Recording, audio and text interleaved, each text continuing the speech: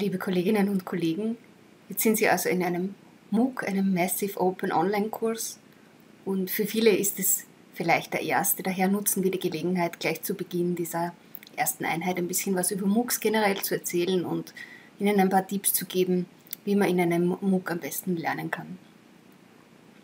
Was sind überhaupt MOOCs und welche gibt es?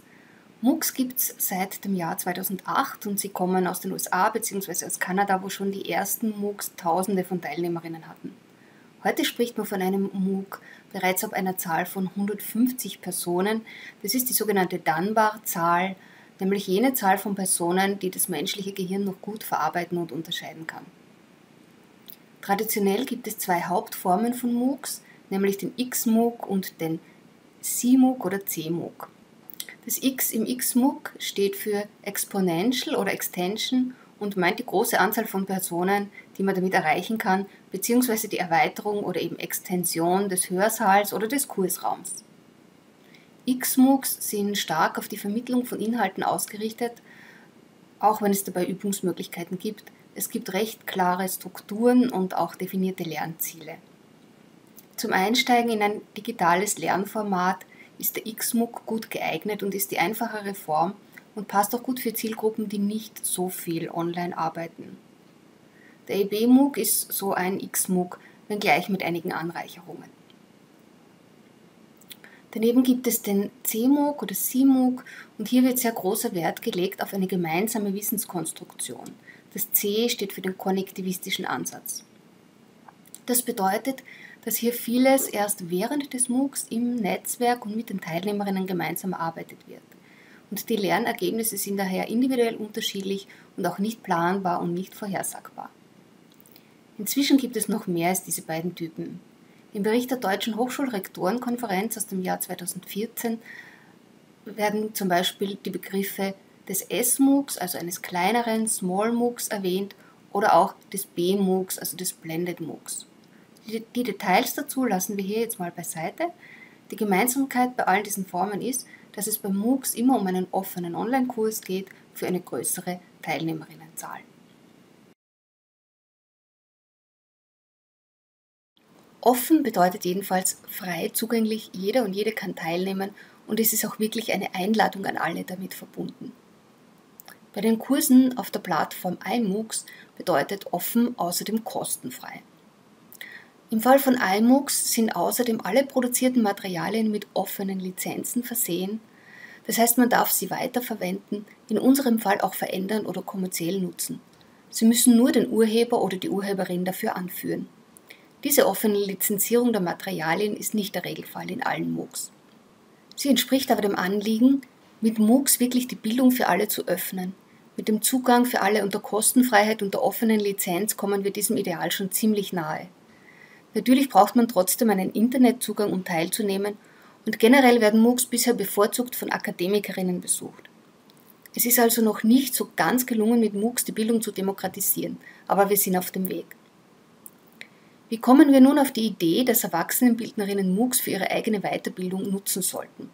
Da sehen wir ein paar ganz konkrete Vorteile. Ein erster großer Vorteil, und das sehen Sie ja jetzt gerade selber, ist, dass man teilnehmen kann, wann und wo man möchte.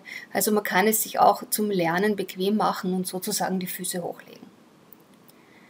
Zweitens ist ein MOOC eine sehr strukturierte Form des multimedialen Lernens. Das heißt, alle Ressourcen sind an einem einzigen digitalen Ort versammelt und man erspart sich als Teilnehmerin die Arbeit, selber Material zu sammeln. Das gehört sozusagen zum Lieferservice des MOOC dazu.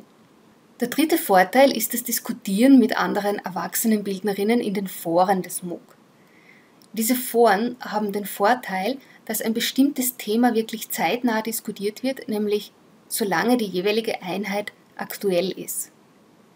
Die Diskussionen in MOOC-Foren können daher deutlich intensiver ausfallen als in anderen Foren im Internet. Weiters kann man außerdem andere Erwachsenenbildnerinnen dabei beobachten, wie sie Lerninhalte digital aufbereiten und wie sie digitale Lernprozesse gestalten. Das ist zwar offiziell nicht das Lernziel, aber MOOCs bieten auf diese Weise eine gute Gelegenheit, sich abzuschauen, was einem gefällt und die Fehler anderer selber zu vermeiden. Und schließlich macht man im MOOC selber einfach eine digitale Lernerfahrung. Man schlüpft dabei wieder in die Rolle des Kursteilnehmers oder der Kursteilnehmerin, diesmal eben in einer digitalen Umgebung. Besonders für Erwachsenenbildnerinnen, die künftig ihre Lernangebote stärker digital gestalten möchten, ist das eine hilfreiche Erfahrung. Wir haben natürlich ein vitales Interesse daran, dass Sie mit uns bis zum Ende des Kurses dranbleiben. Wir wissen ja, dass die einzelnen Einheiten sehr unterschiedlich sind und gerade auch die letzten Einheiten nochmal viel zu bieten haben.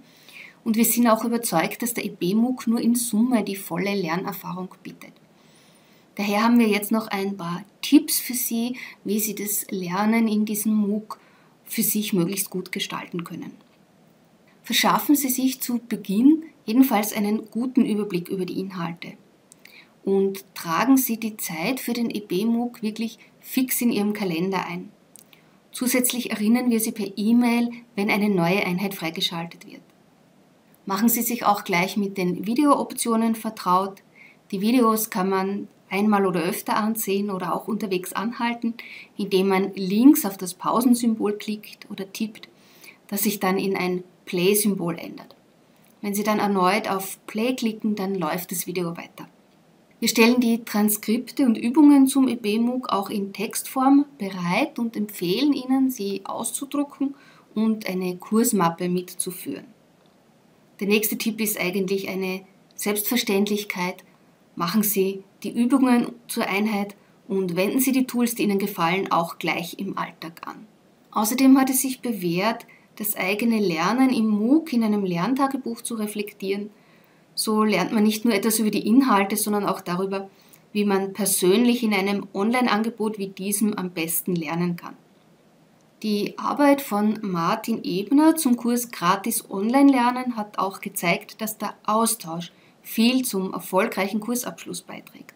Notieren Sie daher eventuelle Probleme und besprechen Sie diese im Forum oder auch im Webinar oder in Ihrer Begleitgruppe. Webinare sind ja eine freiwillige Ergänzung und eine tolle Möglichkeit zum persönlicheren Kontakt. Äh, da können Sie, wie gesagt, am Anfang auch einfach mal so dabei sein und zuhören und mit dem Format des Webinars vertraut werden. Wenn Sie nicht sowieso an einem Begleitangebot teilnehmen, dann kann es auch gut sein, sich im EBMUG nach einer Bezugsperson umzuschauen, zum Beispiel im Forum. Oder Sie könnten auch jemand aus Ihrem persönlichen Umfeld über Ihre Teilnahme am EBMUG erzählen. Das ist auch ein alter Trick, um die Selbstverpflichtung zu erhöhen. Lassen Sie sich auch ruhig durch die Zertifikate für den EBMUG motivieren. Der abgeschlossene EBMUG wird ja von der Weiterbildungsakademie im Rahmen der individuellen Anerkennung mit einem ECTS im Kompetenzfeld Informationsmanagement verrechnet. Außerdem gibt es die Kursbestätigung im PDF-Format. Dafür müssen Sie in allen Tests jeweils 75% richtig haben, aber Sie können ja alle Tests im EBMUG mehrmals wiederholen.